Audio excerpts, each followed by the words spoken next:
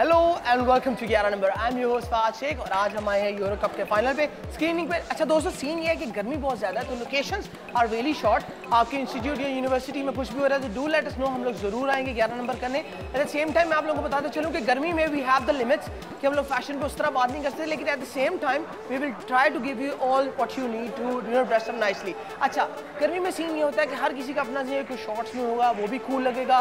कोई jeans pants में होगा, वो भी कूल लगेगा। फॉर्मल सब चलता है। लेकिन at the same time you have to look really sharp तो वही हमारा शोज़ का एम्फोसिस है। अच्छा we ask you something on 11 number के हम लोग क्या करें? आप लोग किस बारे में टिप्स दिए जाएँ। वी वर टॉकिंग अबाउट कि फ़ैशन ट्रेंड्स डिस्कस करें everything and bla bla bla but you guys selected body tips के बॉडी बिल्डिंग स्पेशली लड़कों के लिए, क्योंकि आजकल जो मौसम है उस लिहाज से everybody is really skinny और शो के एंड में मैं आप लोगों को दूँगा टिप्स अबाउट द बॉडी तो हम लोग आपको day by day week by week लेके चलेंगे अपने साथ मेरी रूटीन के साथ बिकॉज़ मैं मोटा हो गया था, लेकिन अब वज़ू का डोला हो गया। तो मैं चाहूँगा कि मैं आप लोगों को भी हेल्प करूँ तो शो के एंड में ज़रूर मिलेंगे। तो अब आए, चलते हैं, ग्यारह नंबर करते हैं और एंड पे बातें करेंगे।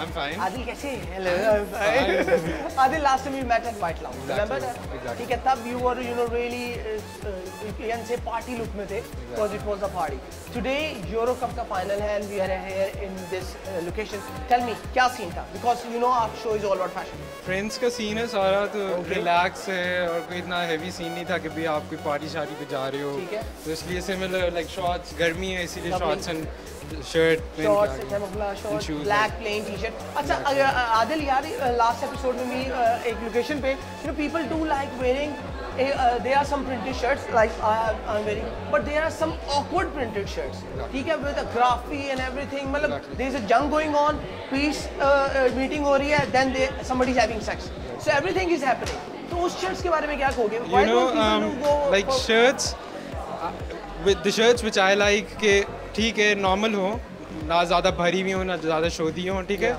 the shirt should be suit suited by you ठीक है ना और वो होंगे जो आपको कंफर्ट फील करे really relaxed गर्मियों के लिहाज से is perfect अच्छा Adil tell me about the belt ठीक है this belt can be wear पहन सकते हो clothing also Okay. at the same time shorts के साथ भी जा रही है ठीक है people do say कि यार कुछ belts ऐसी होती हैं जो सिर्फ़ आप इसके साथ ही पहन लो या ऐसे ऐसे नहीं होता। Tell me कि ये तुम दोनों चीज़ों के साथ पहन हो। Exactly I wear them I wear ठीक है you clearly see my point is this कि अगर आपके पास ऐसी बेल्ट है जो दोनों चीज़ों के साथ जा सकती है ये फॉर्मल ट्राउज़र के साथ भी जाती है शॉर्ट्स के साथ भी जाती है।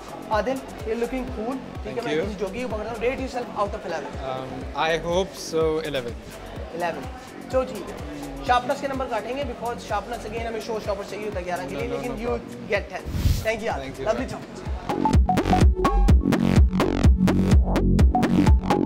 अस्सलाम वालेकुम वालेकुम क्या नाम है? मेरा नाम उजैर जैन क्या करते हो? उजैर नाम है। क्या करते हो? मैं अभी स्टडीज़ कर रहा हूँ। क्या? अ, स्कूल में? नहीं नहीं अभी F S C college join करना यूरो कप के लिए आए हो? हाँ जी। किसको सपोर्ट करें स्पेन इटली स्पेन को। स्पेन वाई स्पेन वो लास्ट टाइम भी जीते थे।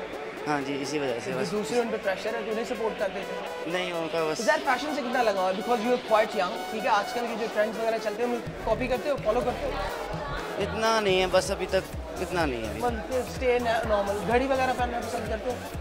घड़ी नहीं। खाली हाथ जीन्स पता है आजकल कैसी फ़ैशन में लॉन्ग और ना काफ़ी नीचे तक उन्होंने पहनी हुई है। नीचे पहनते हैं शॉर्ट फ्लाई होती है। हम्म। फिटिंग कैसी होती है? मतलब खुली जीन्स या खुली jeans होती हैं खुली जीन्स पसंद करते हो? मैं मैं ज़्यादा खुली नहीं पसंद हाँ करता जो खुली यही करना है क्योंकि स्किनी चलती है आजकल हम्म। स्लिम फिट चलती है। ठीक है। ग्यारह नंबर में से यू नो ग्यारह इज़ द टॉप के जो सबसे अच्छे लड़के लगते हैं। व्हाट यू थिंक तुम्हें कितने नंबर मिलने चाहिए? कोई भी मिल जाए सही रहेगा। चलो ठीक है। थैंक यू ओके अगेन मैं आपको हमेशा कहता हूँ देर टू ऑफ़ पीपल एक होता है बिल्कुल कुकू एक होता है जिनको अपने से प्यार होता है। ये था कुकू इसलिए इसकी नंबर नहीं दिया